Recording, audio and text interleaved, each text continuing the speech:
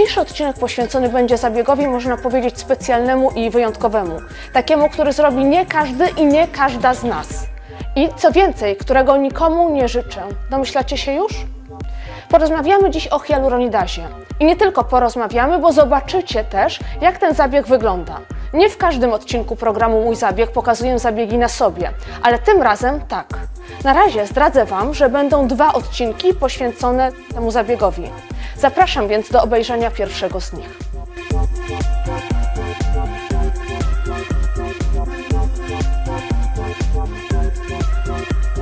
Pani doktor, wielu pacjentów uważa hialuronidazę za takie uniwersalne panaceum na nieudany zabieg z użyciem kwasu hialuronowego. Czy rzeczywiście tak jest? Pani Małgorzato, generalnie ja nie jestem zwolenniczką hial- hialuronidazy, tak jak większość moich kolegów lekarzy. Uważam, że to nie jest absolutnie panaceum na wszelkie zło. Oczywiście mamy takie powikłania z zakresu medycyny estetycznej, e, gdzie po prostu nie mamy wyjścia, musimy użyć hialuro- hialuronidazy, jesteśmy e, zmuszeni, żeby ją zastosować, za- zastosować ten enzym, tak, właściwie. Natomiast mamy mnóstwo też innych metod, które również służą do e, niwelowania nieudanych efektów zabiegów, tak. Czasami mamy niestety takie powikłania, gdzie tylko i wyłącznie e, mm, jesteśmy zmuszeni do użycia hialuronidazy.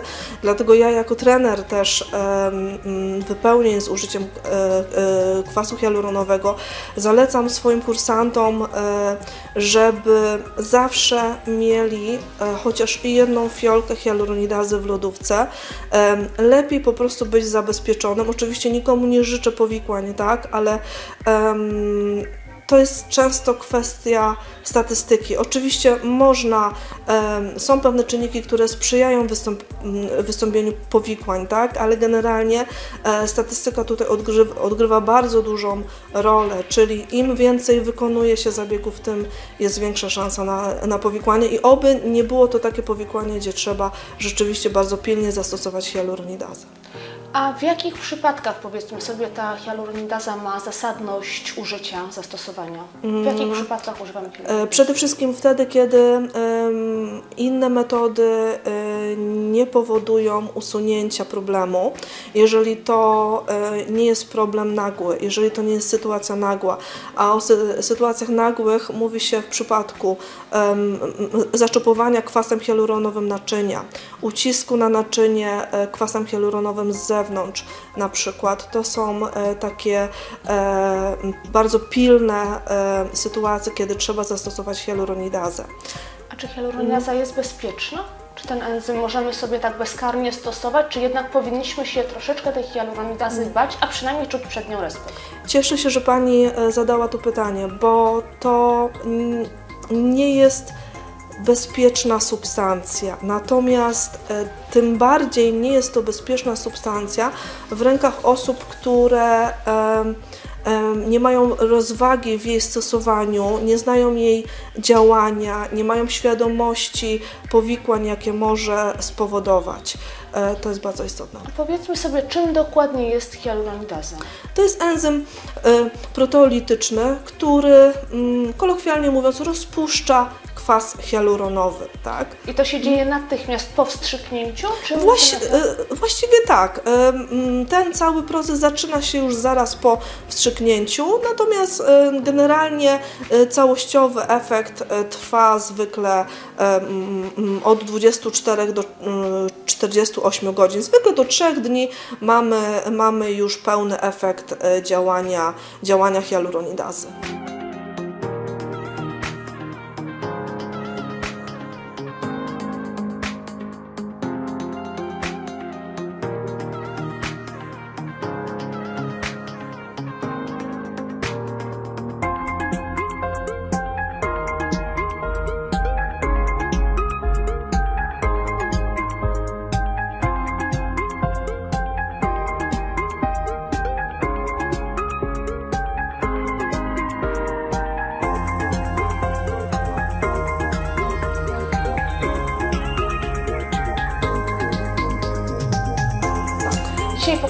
Pokazywałyśmy działanie tego enzymu na mnie, ponieważ miałam do tego kwalifikacje.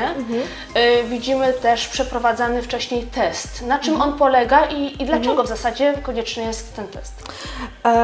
Generalnie przeprowadzamy test alergiczny punktowy, żeby jak najbardziej e, jest to możliwe zminimalizować ryzyko e, wstrząsu e, anafilaktycznego. Oczywiście nie jesteśmy w stanie zminimalizować tego, ryzyka do, zera, tak? Wiadomo, na, natomiast ten test alergiczny już nam dużo powie, dlatego że w mojej karierze zawodowej miałam dwa przypadki, gdzie ten test wyszedł pozytywnie i rzeczywiście nie wykonywaliśmy wtedy zabiegu. Zastosowaliśmy in, inne metody, oczywiście mniej skuteczne w tamtych wypadkach, no ale niestety sytuacja była taka. A czy pomimo tego wykonanego testu, wykonanego, gdzie wynik jest pozytywny, czyli nie mamy uczulenia na hialuronidazę, czy nadal może jeszcze coś się wydarzyć? E, oczywiście mm, wydarzyć się, się może zawsze, tak? I tutaj trze, trzeba mieć świadomość. Ja, ja wrócę do tego e, e, poprzedniego pytania, dlatego e, że w tamtym czasie, kiedy mm, wyszły mi te pozytywne testy, to też pracowaliśmy tylko i wyłącznie na, naturalne, e, na naturalnych hialuronidazach, czyli enzymach pochodzących z jadu ładów błonkoskrzydłych, czyli osy, pszczoły, sz, e, szerszenie, tak? Natomiast od jakiegoś czasu wprowadzono na rynek e, hialuronidazy syntetyczne, tak? które są troszeczkę bardziej bezpieczne. Oczywiście zawsze można mieć alergię na jakiś składnik preparatu, Mm, tak, jak zawsze. Natomiast e, generalnie e, syntetyczne są zdecydowanie bardziej bezpieczne, aczkolwiek również wykonujemy test, tak na wszelki wypadek, to jest dla dobra mm, pacjenta. A jakie są pierwsze objawy tego, że coś się dzieje nie tak, że powinniśmy zacząć szukać pomocy po tego typu zabiegu?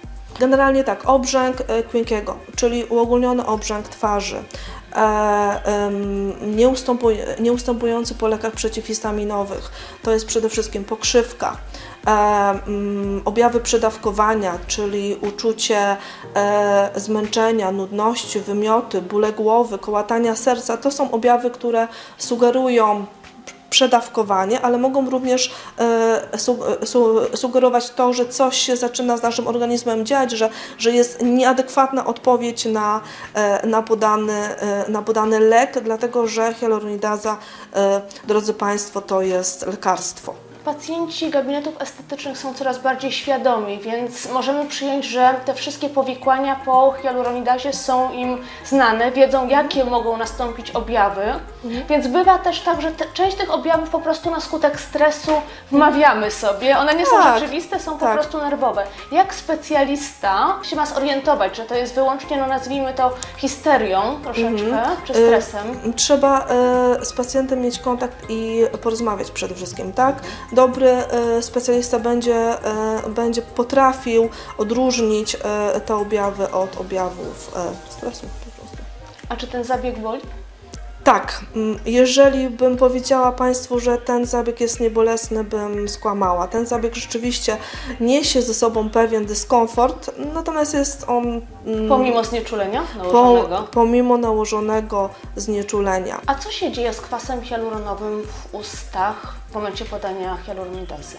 W momencie podania to jeszcze właściwie nic się nie dzieje, to jest e, e, proces. Kwas e, hialurono- hialuronowy jest rozkładany przez ten enzym. Tak, to jest enzym, który po prostu rozkłada wypełniacz, mówiąc kolokwialnie. Natomiast no, oczywiście już po podaniu zaczyna działać, natomiast pełen efekt to po prostu rozkłada się w czasie. Czyli najpierw te usta będą bardziej miękkie, tak? A Mhm. dopiero później wrócą do normy? Czy, czy pozostaną nam takie, jak to często pacjentki boją się zwiski po prostu po tych grudkach, na nich zgromadzi się nadmiar rozciągniętej skóry i, Mhm. i to się już nie wchłonie, to prawda? Wszystko zależy od tego, e, ile preparatu podamy. Wszystko zależy od tego, ile zabiegów e, hialuronidazą będzie e, wykonane. Bo trzeba powtarzać zabiegi. Bo czasami trzeba powtarzać zabiegi, tak? Ja jestem zwolenniczką tego, e, mm, że jeżeli zabieg nie wymaga pilności, jeżeli nie jest to stan zagrożenia e, i mamy czas, żeby rozłożyć ten zabieg e, rozpuszczania na 2-3 zabiegi, tak? Tak jest po prostu bezpieczniej i też unikamy mm, ubytków po prostu gęstości skóry. Wiadomo, że hialuronidaza zmniejszy gęstość naszej skóry i najczęściej po, e, po nawet serii za, e, zabiegów, po zastosowaniu hialuronidazy potrzebna jest niestety rewitalizacja skóry. co ile należałoby powtarzać te zabiegi, jeżeli załóżmy po pierwszym razie nie mamy pożądanego efektu? My zazwyczaj robimy tak, że kolejny zabieg z hialuronidazą e, robimy po dwóch tygodniach od pierwszego zabiegu, tak? Dlatego, że po prostu mamy czas, żeby usta, jeżeli to nie jest pilność, tak?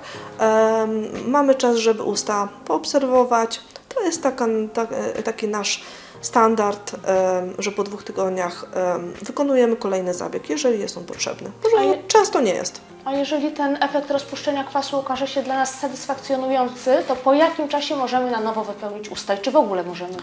Możemy wypełnić oczywiście. Mm, My raczej e, zalecamy po miesiącu. Oczywiście rzadko która pacjentka chce czekać miesiąc, tak? Ale, ale generalnie po miesiącu e, wypełniamy, natomiast no najwcześniej to e, dwa tygodnie po, po rozpuszczaniu. Należy się jednak liczyć z tym, że ten efekt mm, powiększenia na przykład ust będzie mniejszy po podaniu hialuronidazy. Przed, e, przed zabiegiem po prostu. Być może będzie trzeba więcej podać kwasu hialuronowego, żeby osiągnąć podobny efekt. Czy hialuronidaza rozpuści nam wszystkie substancje stosowane w medycynie estetycznej, wszelkie wypełniacze? Działa wyłącznie na kwas hialuronowy. Jeżeli mamy do czynienia z innymi e, wypełniaczami, niestety tutaj hialuronidaza jest bezużyteczna. Na początku pokazywaliśmy, jak działa hialuronidaza. Możemy na tą naszą karteczkę spojrzeć. Tu już Pokaz- się niestety e, zrobiła dziurka od, e, od naszego podawania.